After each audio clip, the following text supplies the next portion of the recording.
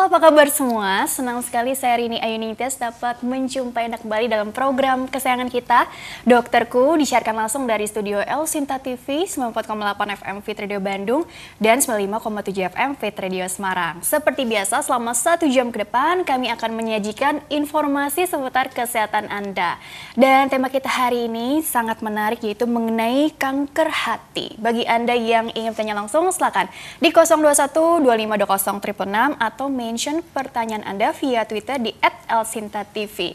Anda juga bisa mendownload aplikasi Elsinta Mobile di Play Store milik Anda tentunya. Dan hari ini kita kehadiran dengan Dr. Lianda Siregar SPPD KGEH. Beliau adalah dokter spesialis penyakit dalam, konsultan gastroenterologi hepatologi nih dari Pusat Kanker Nasional Rumah Sakit Kanker Darmais Jakarta. Kita sapa dulu Dr. Lianda yang sudah hadir di samping saya tentunya. Halo Dr. Lianda, apa kabar? Hai, selamat pagi Mbak Rini. Kabarnya bagaimana? Alhamdulillah sehat. Alhamdulillah baik. Uh, kok suaranya jadi tiba-tiba hilang nih. Oke, tapi semangat gitu ya. Biasa kalau pagi ini tadi melewati macet gitu ya segala macam. Tapi dokter, kita hari ini mau mulai bahas seputar kanker hati, begitu Yeah. ya dok ya. Yeah. Nah, ini kan biasanya pasien-pasien gitu ya yang mungkin di rumah sakit kanker darmais atau mungkin di rumah sakit-rumah sakit lain gitu ya datang dalam kondisi maaf-maaf aja nih gitu. Udah yang kondisi agak lanjut atau apa gitu ya dok ya. Yeah. Jadi memang karena katanya di awal-awal itu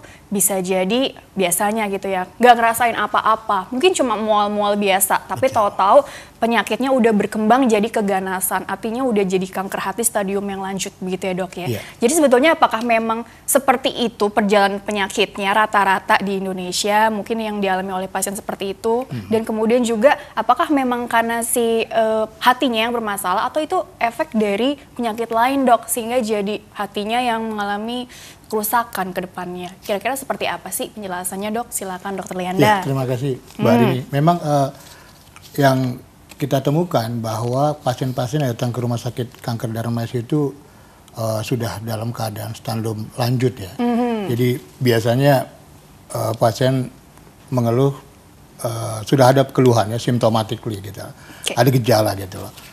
Nah, memang kita ketahui bahwa apa sih kanker hati? Kanker hati itu adalah kanker yang tumbuh dari hati. Jadi primer kita sebut. Ada dua uh, kanker hati jenisnya. Yang pertama adalah yang berasal dari sel hati. Kita sebut sebagai uh, karsinoma sel hati. Ya. Kemudian yang kedua yang berasal dari saluran empedunya itu kita sebut sebagai akolangiokarsinoma. ya. Jadi ada jenisnya ada dua. Ada gitu dua dok ya, ada dua. Karsinoma yang dari Hepatoseluler, hatinya itu sendiri sama yang dua-dua dari hati, Oke. dari sel hati dan dari salurannya. salurannya. Saluran empedu ya. Empedu ya dok Iya, ya? empedu. Kita sebut sebagai kolangiokarsinoma. Oke, jadi ada dua gitu Ada ya dua. jenisnya. Tapi yang paling banyak terjadi yang memang karena dari si lokal si hatinya ini atau yang empedu tadi saluran empedunya. Ya, ini? lebih banyak yang primernya dari sel-sel hati. Hmm. Nah, dia ini nggak berdiri sendiri ya. Jadi sel-sel hati itu rusak oleh karena proses. Dan proses itu uh, uh, berlanjut bertahun-tahun. Jadi penyebabnya itu di Indonesia yang paling sering itu adalah hepatitis B. Ya. Hmm. Jadi di rumah sakit kanker darah juga dalam data kita bahwa hampir 51 persen penyebab kanker hati itu yang ke darmais itu karena hepatitis B. Jadi hampir setengahnya itu penyebabnya karena si hepatitis B, B. gitu ya. B. Selain hepatitis B mungkin ada lagi nggak sih dok yang eh, jadi 50 persennya lagi ini Hmm. apa kira-kira ya?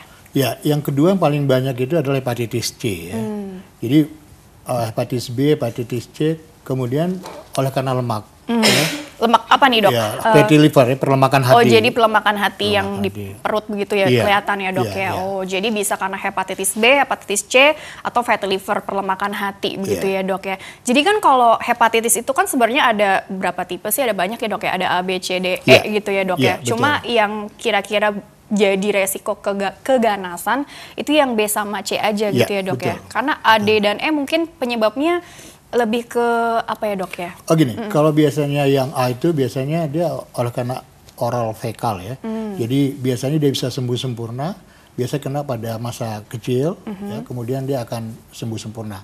Sedangkan yang B dan D ini berkaitan, Mhm. ya, tapi jarang kita memeriksakan hepatitis D. Kemudian C, nah itu berdasarkan bukan berdasarkan huruf, tapi berdasarkan uh, penyebab ya. Jadi penyebab misalnya hepatitis B itu karena DNA virus ya. Pada C karena RNA virus. Jadi oleh karena itu uh, bukan dari B ke A atau C ke B ya. Kadang-kadang masyarakat uh, memikirkan demikian gitu. Padahal bukan. Jadi ya B ya B, C ya C, ya D ya D, walaupun ada hubungannya D dengan B. Oh. Tapi bukan itu masalah. Yang paling penting adalah bagaimana cara kita uh, mengetahui bahwa kita menderita hepatitis ini. Dan itu menular ya dok ya? Iya, menular. Hmm, kalau yang tadi fekal oral bisa sembuh sempurna gitu Iya. ya dok ya. Terus eh, kemungkinan berkembang ke arah yang kronik tuh enggak ya dok ya, lebih Enggak. ke acute ya sifatnya ya. iya. Tapi kalau yang B dan C yang paling banyak terjadi juga barangkali ya Iya, dok ya, iya. yang berkembang jadi keganasan nantinya Iya, ya dok ya. iya, Terus iya. juga tadi fatty liver dan kemudian mungkin ada faktor-faktor lain juga kali ya dok ya, yang artinya memang eh, dia turunan juga genetically atau Iya, bagaimana? jadi banyak juga ya selain uh, ketiga tadi ada alkohol ya. Mungkin di negara-negara maju atau barat Iya. uh, di macam di, Di Rusia Amerika ya, misalnya. di alkohol. Kemudian ada ya. juga penyakit-penyakit tertentu ya yang bikin kronik seperti penyakit metabolisme ya, seperti defisiensi trypsinogen atau penyakit-penyakit uh, lain seperti uh, apa namanya Wilson disease ya atau hematokromatosis ya itu juga bisa menyebabkan uh, sirosis kemudian menjadi kanker ya. Tapi yang kita bicarakan ini yang yang umum lah kita dapatkan di negara kita. Dan kita ingat bahwa negara kita ini termasuk uh, prevalensi yang high prevalence untuk hepatitis B ya. Lebih dari 8% kita sebut sebagai high prevalence termasuk Indonesia. Oleh karena itu uh, uh, kita harus waspada karena kita nggak tahu kalau kita sudah uh, mendapat hepatitis B. Dan perlu kita ketahui bahwa kanker hati yang ada di dunia ini itu merupakan frekuensi yang uh, morbidity-nya sekitar tu- 7 sampai 5 persen ya. 7 sam- Nah, 70 bukan. Tujuh dia dia peringkat, oh, dia peringkat, peringkat, peringkat, peringkat. kelima. Kemudian menyebabkan kematian itu uh, perang- uh, peringkat ketiga. Ew. Sehingga memang sehingga ya, tidak ini ada ya. Kalau kita lihat kan di di apa di kalau kita lihat di grup-grup gitu ada uh, grup kanker serviks ya, ada grup uh, kanker payudara ya, ada grup kanker yang lain usus misalnya, kolon. Tapi di kanker hati nggak ada grupnya. Karena apa? Karena dia fatality rate-nya sangat tinggi. Artinya apa? Angka kematiannya sangat tinggi. Sehingga angka kejadian dengan angka kematian itu hampir berimbang 0,97 persen. Sehingga Miris, tidak miris. ya miris. Sehingga ya itu. Jadi kalau udah kena kanker hati biasanya jarang hidupnya panjang gitu. Oh, jadi eh, mungkin karena tadi ditemukannya juga udah stadium yang lanjut juga, jadi akselerasi ke stadium akhirnya jadi cepat gitu dok Ya, ya. oleh karena itu ya tentu eh, apa sih pertanyaan kan paling gampang sih bagaimana Hmm. sih kalau kita ingin tahu ya periksa darah tidak ada lain Itu screening tuh. Iya, Minimal jadi- periksa darah gitu Iya. ya dok ya. Apalagi kalau ada faktor resiko keluarga yang ada hepatitis B atau C tadi ya dok ya. Iya. Karena bisa dibilang tadi eh, banyak juga yang mungkin nggak screening juga dan nggak ngeh juga kalau ternyata eh, mungkin dia ada udah ada nih eh, si hepatitis B-nya itu ya dok ya. Bisa nggak sih dok? Apa mungkin apakah harus selalu eh, kuning? Tapi ada juga kan yang nggak kuning terus tahu-tahu mungkin keluarnya tadi mual-mual biasa aja lemes bawaannya nggak taunya tahu-tahu udah hepatitis yang tingkat eh, berat gitu ya dok ya. Bisa nggak sih kayak gitu Mbak dok? ini kayaknya udah pernah menderita hepatitis nih, kok ngerti banget ya. Baca-baca dong. Oh gitu ya. Jadi memang ya pada pasien yang akut itu Uh-huh. bisa kuning, muntah ya, Hmm. eh, buang air kecilnya kuning itu cuma hanya sekitar 10-15 persen. Hmm. Jadi 85 persen itu nggak ketahuan gitu Oh, loh. oke. Jadi sehingga Banyak kita nggak tahu. ya Iya. dong? Jadi asimptomatik tidak ada gejala. Hmm. Sehingga kita kadang-kadang eh, kalau nggak diperiksakan kita nggak tahu bahwa kita menderita hepatitis B. Oleh karena itu eh, paling gampang adalah men-screening, diperiksalah eh, hepatitis B-nya. Nah, Hmm. Mulai kalau- usia berapa juga jadi Iya. patokan nggak? Walaupun kita kan sudah ya pada usia anak kan sudah ada sekarang vaksinasi ya Hmm. pada hepatitis B ya. Tapi kan kita nggak tahu apakah kita kena hepatitis B apa enggak. Oleh karena itu screening sangat penting uh, pada semua orang Hmm. karena ya nggak tahu umur kita kapan ya kan. Nah kita lihat kalau perkembangan daripada uh, hati normal kemudian menjadi kronik menjadi sirosis ya. Sirosis itu hatinya menge- uh, mengecil. Nah sirosis ini yang bakal menjadi kanker. Hampir-. Hatinya ini mengecil, mengecil, mengkerut, ya, mengkerut ya. ukurannya ya. Iya. Dan kalau terjadi ini, hampir 80% kanker-kanker yang hati itu eh, backgroundnya itu adalah karena sirotik. Hanya 20% yang bukan sirosis. Jaringan kalau jaringan paru tuh itu Itu maksudnya ya, dok iya. ya. Jadi jaringan paru di hati yang kita sebut sebagai sirosis.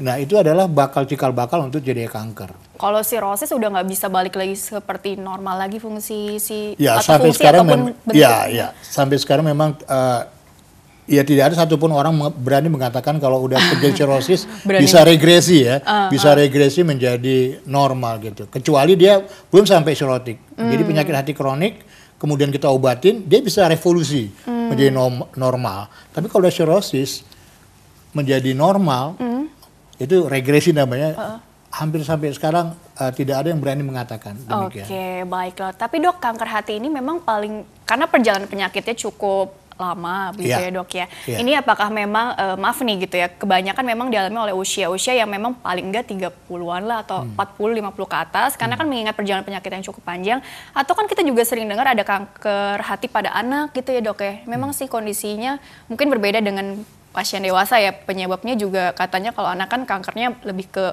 bawaan atau Hmm, Betul. turunan atau apa gitu ya nggak dipengaruhi dengan lifestyle misalnya Ya, benar nggak sih gitu? Hmm.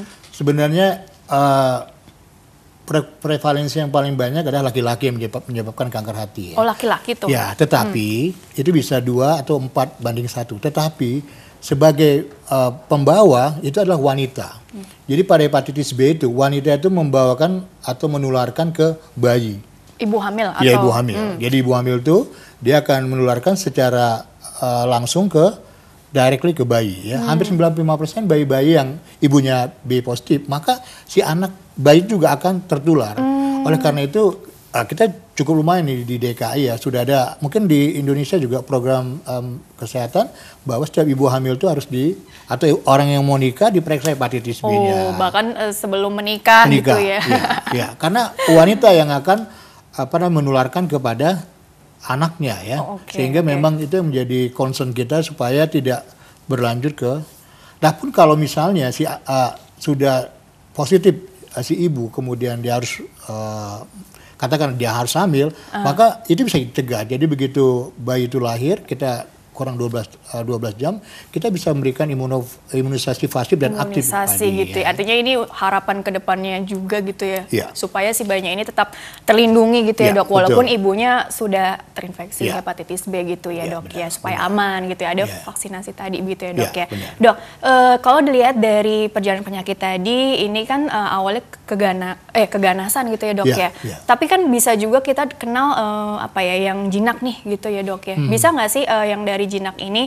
jadi berubah jadi ganas? Misalnya kita ditemukan ada masalah apa gitu ya di, di hati kita gitu. Mungkin dilihat dari fungsinya seberapa ada masalah seperti apa, mungkin seberapa persen. Kemudian kira-kira penyakit-penyakit apa aja sih gitu mungkin selain hepatitis juga yang bisa dibilang bisa juga ke arah keganasan kalau tidak tertangani dengan baik. Ya, jadi sebenarnya uh, baik tumor baik uh, jinak maupun tumor ganas yang kita temukan itu hanya uh, by accident ya, artinya kecuali pasien ada keluhan. Gak sengaja gitu. Ya, ya, symptomatically. Karena kan banyak sebenarnya orang sakit emah berulang-ulang gitu, padahal bukan sakit emah gitu. Oleh karena itu memang gejala itu uh, sangat sumir gitu. Oleh karena Oke. itu kalau pasien dengan penyakit-penyakit yang kronik atau keluhan kronik, tentunya kita harus pikir bahwa ada kemungkinan lain. Nah, biasanya uh, yang awal dilakukan adalah ultrasonografi. ya. USG dulu USG lah dulu. ya. Nah, dari USG itu kita temukan ada sesuatu di hati, apa tumor ya, apa kistik. Benar, nah, benar. dari tumor itu baru kita evaluasi. Nah, untuk mendiagnosa apakah ini kanker atau eh, jinak ya, ganas atau jinak, maka untuk deteksi kanker hati itu ada tiga hal. Pertama selain gejala, gejala tadi muncul misalnya, oh eh, dia misalnya ada sakit perut sebelah kanan, ya, atau karena dia 80% karena ada sirotik, biasa gejala-gejala sirosisnya kelihatan. Jadi gejala-gejala sirosis itu misalnya matanya kuning, ya, kemudian tangannya itu eh, seperti tabur, kemudian ada kaput eh, apa eh, pusatnya bodong, ya, kakinya bengkak, perutnya buncit, atau gejala yang lain, simptom misalnya ada muntah darah, itu Oke. itu ada Baik. gejala-gejala sirosisnya. Tapi Eh, mungkin dokter ditahan dulu sebentar ya, Oke, oke. karena katanya udah mau masuk jeda dulu nih. Nanti dilanjutkan kembali untuk memastikan apakah ini ke arah eh, ganas atau Ya. enggak gitu ya dok ya. Baiklah ditahan dulu sebentar ya. Baiklah pemirsa jangan ke mana-mana, tetaplah bersama kami. Kami akan kembali sesaat lagi.